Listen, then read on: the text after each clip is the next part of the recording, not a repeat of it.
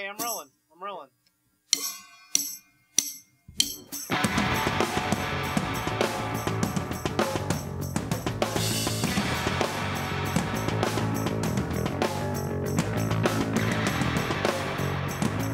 The reason why I started Fear and the Nervous System was sitting at home and my dad was in a really bad health situation.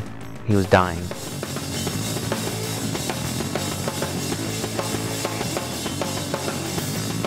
Fieldy was at home, I think, with his kids. Jonathan had gone on a tour with JDSFA at the time, and I was looking for an outlet to really put all this energy into.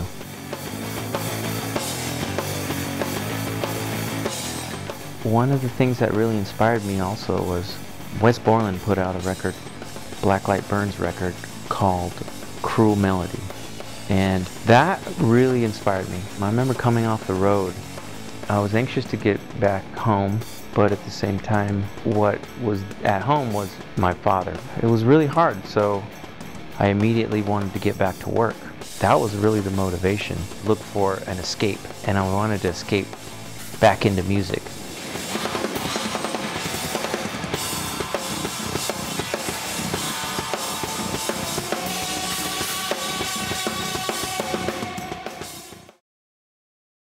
In late 2007 is when I started recording the material, and I wanted to try to take a different route from Korn. When I play Korn songs, it's an extension of who I am, and I really wanted to extend that boundary into a different musical area. So I had to do a lot of different things. I wanted to use all vintage guitars, I wanted to use vintage amps, change the tunings. I did a lot of the songs in standard tuning. A lot of people say it sounds like Korn. I don't hear it but uh, you know maybe it's because i'm playing. I'm very proud of Korn and what we've accomplished and you know starting this new band and trying to get it off the ground it has given me a chance to reflect how far Korn has come. It makes me really grateful all the accomplishments that Korn has achieved and will achieve because there's more to come for Korn and there's also a lot to achieve with this new band so each musician that I kind of handpicked was Zach Baird has been touring with Korn for like six or seven years now. Him and I share a lot of similar musical tastes. So there was already a relationship there. One of the first ideas we came up with was on the bus. It's an instrumental song called Silvertone. All these things are coming together over courses of tours. We're actually in the middle of another Korn tour, and I'm sitting back here in the back of the bus just messing around with some new plugins I've got. For some reason, right now this piece is saying organ to me.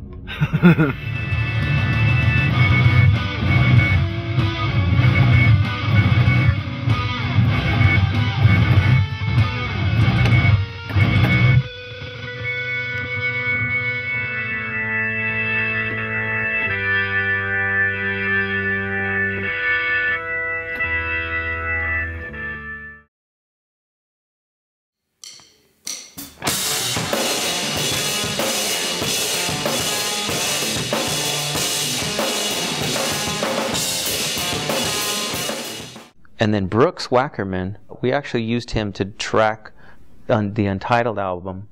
I remember Atticus Ross, because he produced that record, telling me that room and that drummer is fucking unbelievable. And that's coming from somebody who I highly respect as a producer. After he said that, that always stuck in my mind.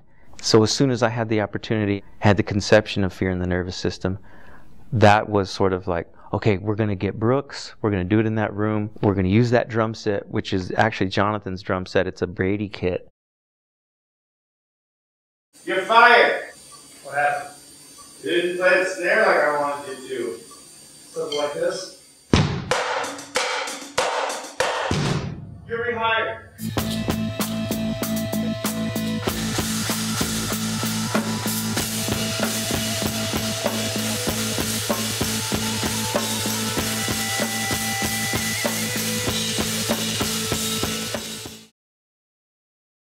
Leo Ross is Atticus's brother. We worked on See You on the Other Side and Untitled. He was really involved with the editing of those two albums. He has a very musical background and he's just smart when it comes to coming up with the right hooks, getting the right sounds. He knows exactly what he wants to hear. He loves being in the studio.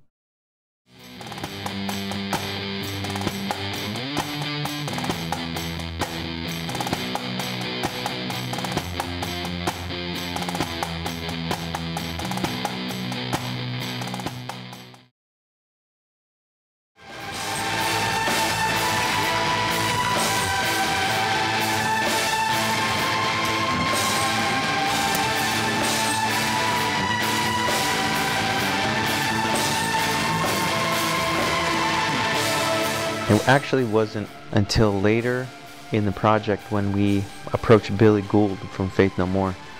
Everybody knows I'm a huge Faith No More fan. It just so happens that our guitar tech, Jim Otell, used to work with Faith No More, so he knows Billy. He agreed to come, and I remember I picked him up from the airport, and he had his bass which I was surprised and excited at the same time. Once we got to the studio, we you know hung out for a little bit, and he liked some of the stuff. He had even brought some of his own tracks that he was working on. We turned into songs later, which is called the Combine.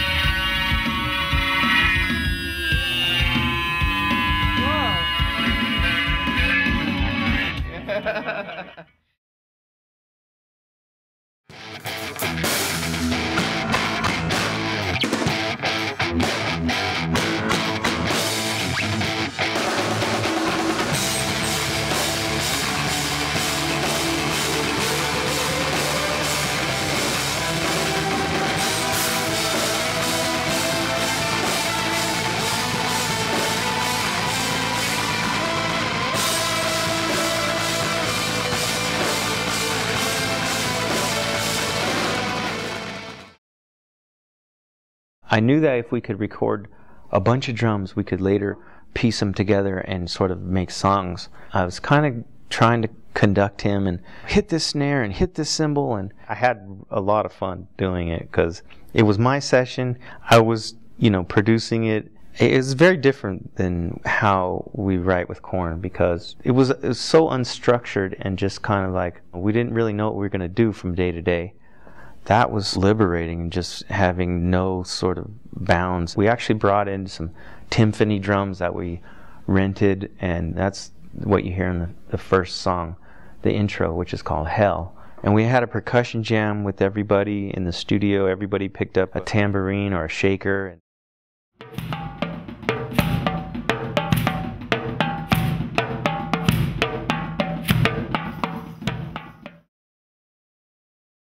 I'm a huge Mike Patton fan, so Mike Patton had put out a band called Peeping Tom. I started to research where this name came from, and actually it was a, an old movie about this guy who likes to kill hookers and film it at the same time.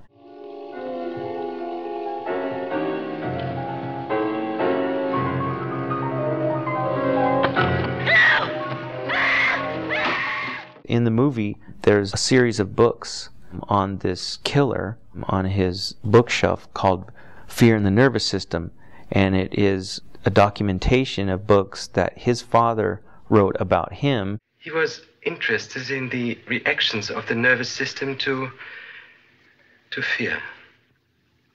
Fear? Fear. What happens to your nervous system when you introduce fear into it? It changes basically the molecular structure of how a person thinks and who they become. The guy's father scared him so bad he became a, a serial killer. I thought the whole thing was so interesting. Originally was going to be just the nervous system, but I decided to go with fear and the nervous system. I think it tells more about what the band represents.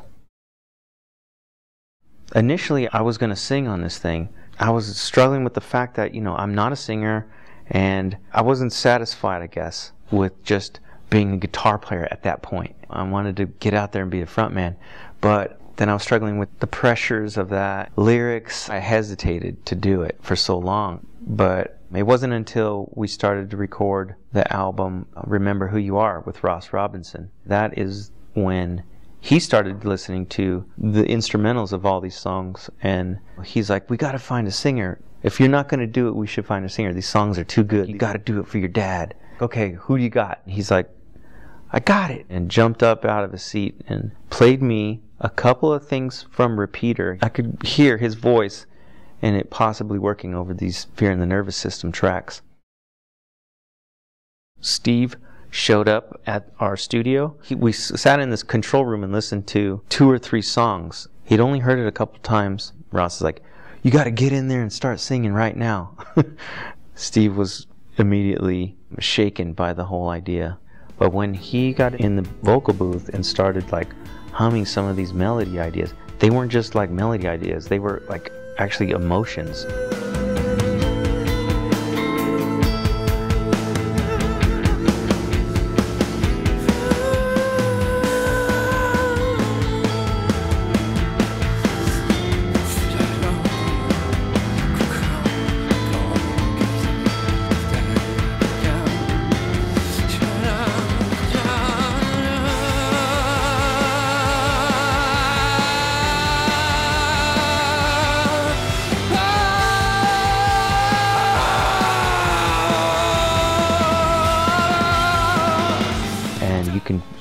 It and hear it on some of these videos. It's someone opening up, and I was thinking how intense it was, and he didn't even have words yet, and we were all blown away. I remember everybody had goosebumps and chills. Yes, this guy, he's the shit. He's awesome. You can hear some of the ideas that he came up with ended up being some of the vocal melodies that we actually used on the final takes. The way it all came together was just effortless.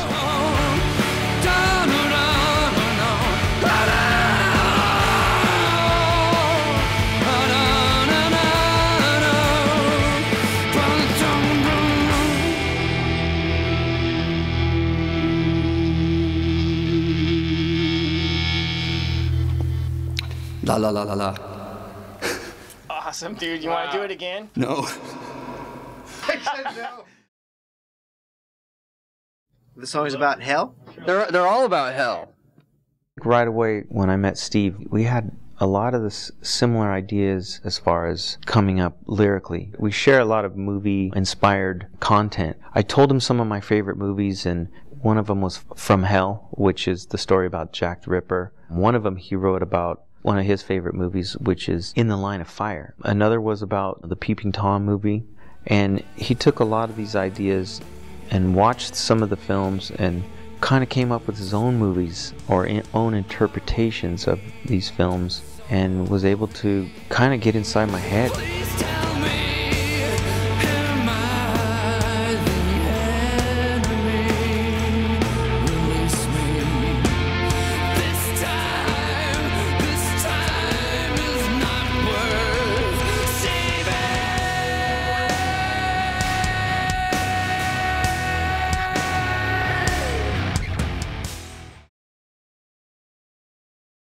Ross is gonna come in there and stare at you while you sing. Oh crap. Steve was so generous about working so hard on the record. He really wanted to make us all proud. It was very different for him to switch genres of music so quickly. What did you feel that day? Why are you still alive? Who? Whoa. Can I listen to that? I wanted to give him something. I know. So, You expect me to know what to say? We're really happy with what you've been doing. I'm extremely touched. Well, it looks good on you. It's totally your style. It was really exciting for him, and he couldn't believe it. I remember he was shaking, and I don't think he's he believed it until he actually left the studio with it. Ah, thanks.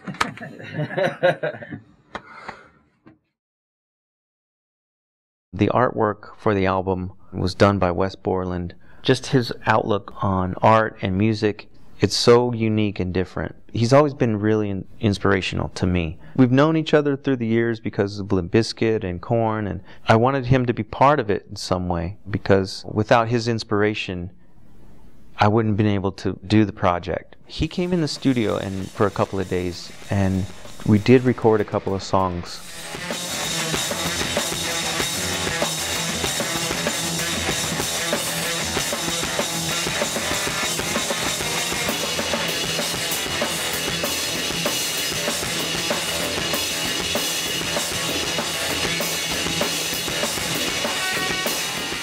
Had so much material at the time. We didn't have enough time to really flesh out the ideas. Maybe one day we can take those songs and go back and re-record that stuff. I just asked him, "Will you paint the album cover?" And he said, "Yeah." Um, what are you thinking? And he had this really cool medical book from the 20s. We went through this and we found one picture that was a cross section of a human body. And then he did another painting that him and I liked, cross section of an ear. That's also on the inside cover of the album. That represents listening to the record. But the actual painting of the album is five feet by six feet. It's huge.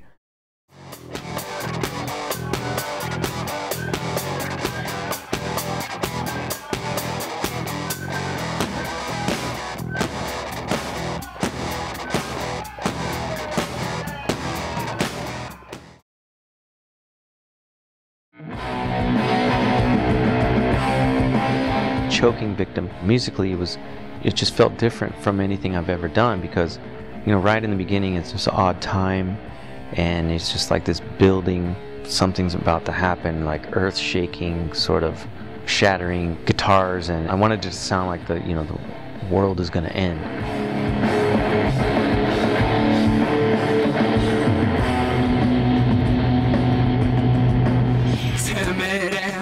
Timid and soul. Is it just my own? Burnt skins of rejection. One exit from this fireside prison of pale judgment, cruel injection.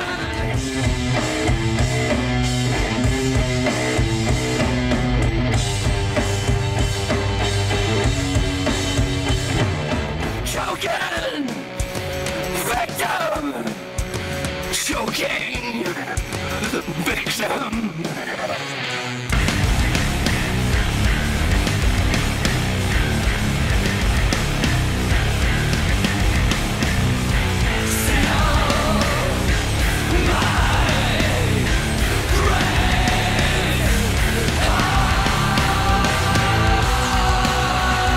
The music video, the director Yarvo, my wife introduced me to him. He has a tendency in his videos to really take things to the edge and be very dark. And I liked what I saw in his reel. It's a lot like how the band got the name, honestly. It's about a kid who witnesses abuse and then later becomes a murderer or a serial killer.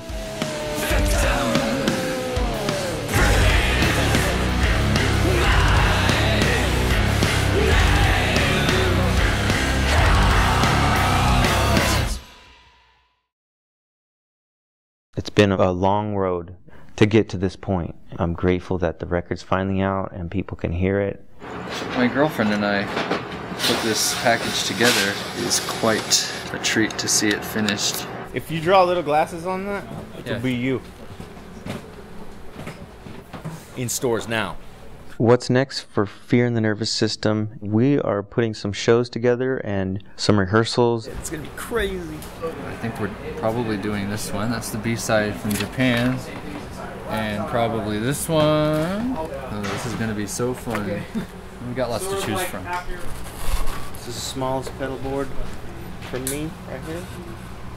In a long time. I downsized, bro. In this economy, I can't run that much electricity. Mitt Romney's gonna pull the plug on me fucking pedal board, bro.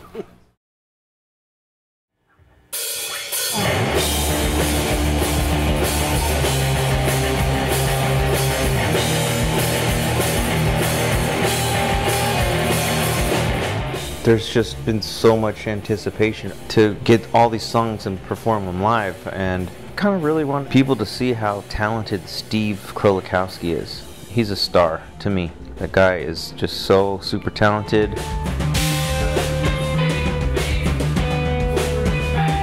Everybody's schedule's so kind of all over the place. I knew I was going to come to a point where I was going to have to replace one guy, so I asked for some help from our friend Mark Phillips. He helped me find some musicians. Elias Mallin, who plays for Opiate for the Masses, and Kill Hannah, he was able to jump right in.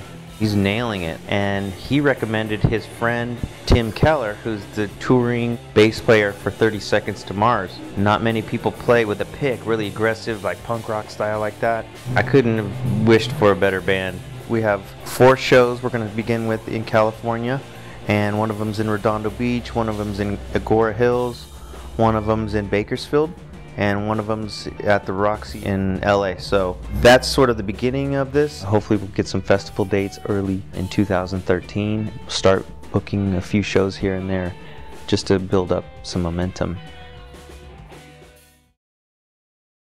Hopefully, we're going to follow this up soon with uh, another record while the momentum's built and this also can give people a little bit of insight as to how much fun we had, but not only the hard work everybody put into this one record, it pays off. It's really in memory of my father. And that's what the whole project is really about.